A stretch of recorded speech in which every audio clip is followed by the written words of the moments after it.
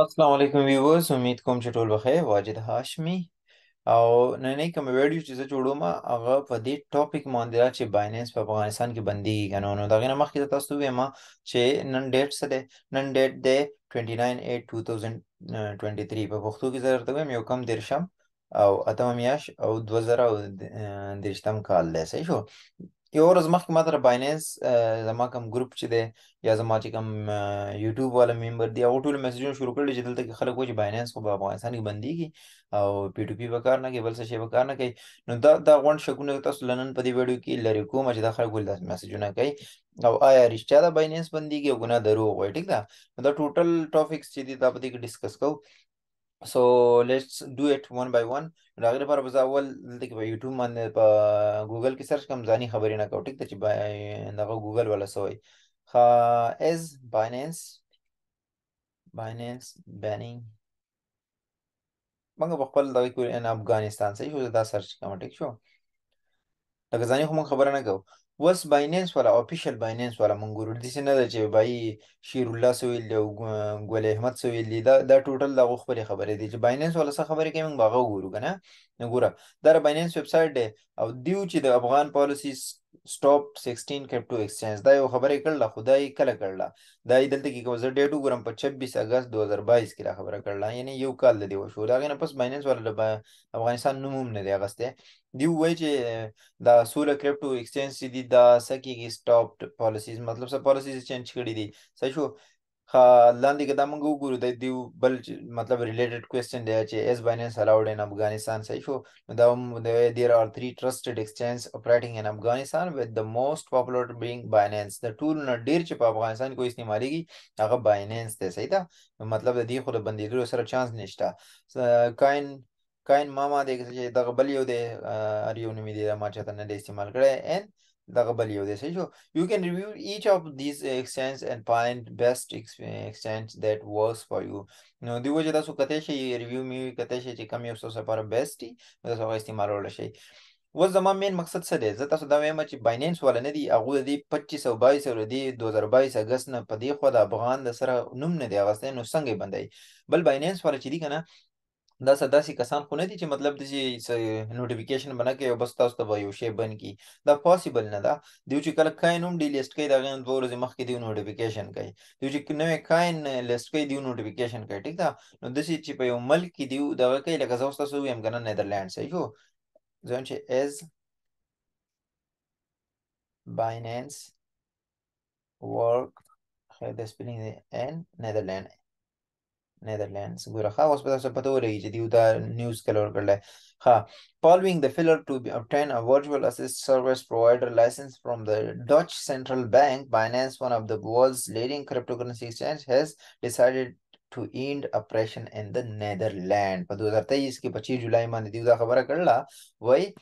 وای زمونږ د نیدرلند کې خپل دغه چې دی کنه بایننس ډیسایډ کړی دا فیصله کړی دا چې دا مونږ خپل بایننس نه جلو نور دا غي مطلب مسله څه ده دا غو کوم ډچ سنټرل بانک دا غو زر چې کوم لایسنس پرووایډر دی هغه دی منسوخ کړی دی یا مطلب دی ته الاوډ کین نو ټیک شو نو د دې نوټیفیکیشن چې کله بایننس وکړي نو هغه بیا صحیح ده هغه بیا نه کوي اوس په نیدرلند کې نه کوي کار بایننس کار نه کوي هلته هلته ګوته چلے وی پی ان بچلې یا بس مطلب څه گیم بو سره کې خو هغه هم بیا ډیټیکټ کوي تا ته به یو ورو هفته پس میسج راځي چې ته خپل دغه ویریفایډ کا لوکیشن ویریفایډ کا نو زه تاسو دا کلیر کوم دا کم کسان نه دي دا, دا تاسو ته چې دا نیوز خوري او فوګان چې خوري دا چې کم ځای کې پښتانه دي یا د دغه نه دي سب کانټیننټ والا کنټریز دا رزیلان دا چل کوي په دې کې څه چلی دیو د خپل ویورز لپاره کوي که په یوټیوب دی ویډیو ورکې نوم دا مطلب دی چې لکه دی یو کس بیا خامخا وګوري تمنیل به ولدي جوړ کړي چې بایننس خلاړ په افغانستان کې ختم شو نو چې څوک څوک بایننس کوي هغه به خامخا دا ویډیو ګوري نو هغه د خپل پیسې ګټي نو چې تاسو یو ایجوکیټډ کس یې مطلب تاسو سره نالج یې نو بیا په دې شیزونو باندې بلیو مکو دا غو ویډیو مګورئ زه دلته په بایننس باندې ګورئ زما دا ویډیو مګورئ زه تاسو دې نه زما ویډیو ګورئ خو چې کم کسان تاسو باندې خپل ویورز زیاتې او ځان واچ ټایم زیاتې کنه نو دې مطلب دا دی چې دې کا سره نالج نشته خو دې بس اسی خپل مطلب دا یوټیوب چینل مخې ته وځي ټیک شو نو همیشه له دې کار کوی چې هغه روستو سره ثبوتي چې تاسو ته سوکو چې بایننس بنديږي کنه نو دا دا ضروری نه چې تر لار راشي د واجد نه تاسو کې تر بل چا نه تاسو کې چې بایننس بنديږي کنه ها ضروری ده که تاسو چې مطلب لګ ځان خپ وکول غواړي باقي کته لار شي بایننس باندې افیشلی وګوري دیو نوټیفیکیشن کیږي روزانه نو کو تا وګوري ولته کې د افغانستان د بندیدوی ویلي نو صحیح ده کنه ویلي نو بای کیری ان دا خلک دروغ وای ګور کله چې کورونا راوته وغنه کورونا 19 کې 2019 کې نو په هغه ورځ کې خلکو سوي زه